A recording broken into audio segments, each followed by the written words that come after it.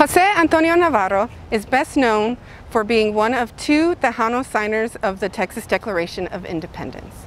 He was born here in San Antonio, February 27, 1795. Navarro received his formal education in Saltillo, Mexico, and was later mentored by his uncle Jose Francisco Ruiz during his study of law. This study would be utilized throughout his life as he represented San Antonio at the municipal and legislative levels. Navarro was elected to the state legislature of Coahuila y Tejas and was present at the Constitutional Convention of 1836 at Washington on the Brazos.